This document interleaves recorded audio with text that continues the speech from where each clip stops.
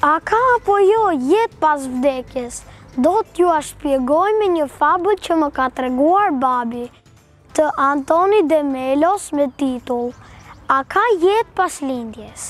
Dy motra binjake që ndodheshin në barkun e nënës, në fillim nuk dinin asgjë. Duke shikuar njëra tjetrën me javë të tëra, kishin filluar të zhvilloheshin. Kishin filluar të merrnin formë dhe kështu filluan të kuptonin se çfarë po ndodhte rreth tyre. Duke njohur vendin rreth tyre, kishin filluar të lumturoheshin.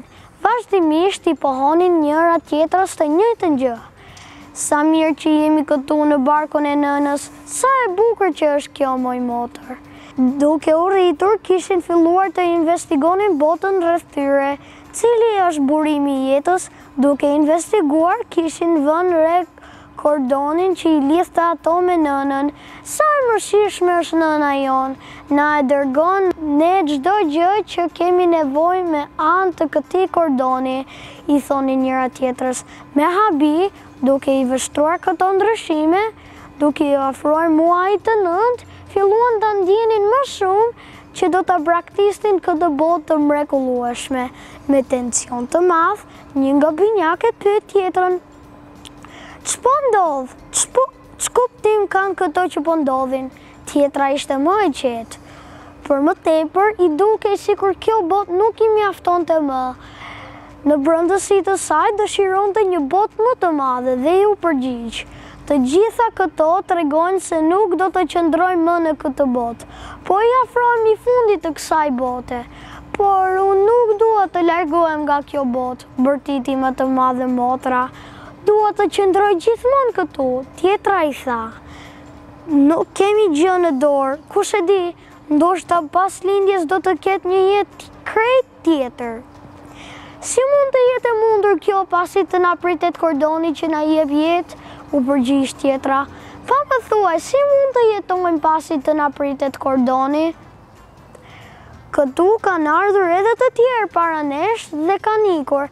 Askush nuk është kthyer mbrapa që të na tregojë se ka jetë pas lindjes.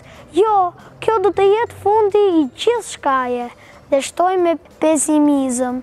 Ndoshta nuk ekziston as diçka që quhet nënë. Duhet të ekzistojë, kundërshtoi tjetra.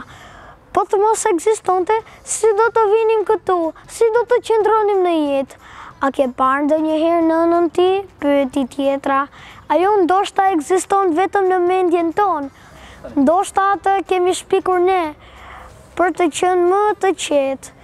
Dhe ndërsa ato vazhdonin diskutimet, Erdhi dita e lindjes.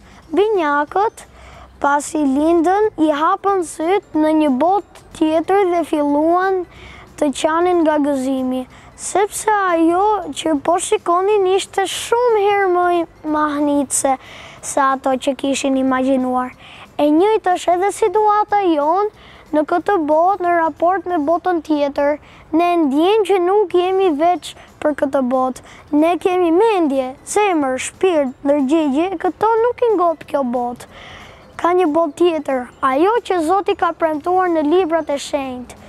Ajo që profetët e kanë lajmëruar më së shumti, ajo që ne duam që të jetë.